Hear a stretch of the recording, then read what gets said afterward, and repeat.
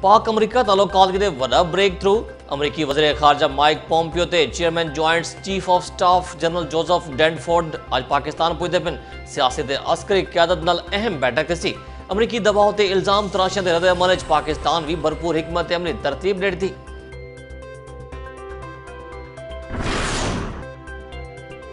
افغان مسئلے دے حل کے دے پاکستان مدد کرے۔ امریکی وزیر خارجہ دے تیار صحافیاں الگال مہار پاک امریکہ تعلقات درپیش چیلنجز دا اعتراف۔ آکیا مسائل دے حل کتے پاکستان دا تعاون ناگزیرے۔ راجن برج پرانی دشمن دے فائرنگ دی وجہ تو ڈوب سکے براج جام وقت خاتون زخمی۔ لاشاں ہسپتال منتقل، دوہے پاسو ہون تک سات بندے دشمن دی بھیڑ چڑھ چکے پولیس ملزمان کو پکڑنے سے ناکام۔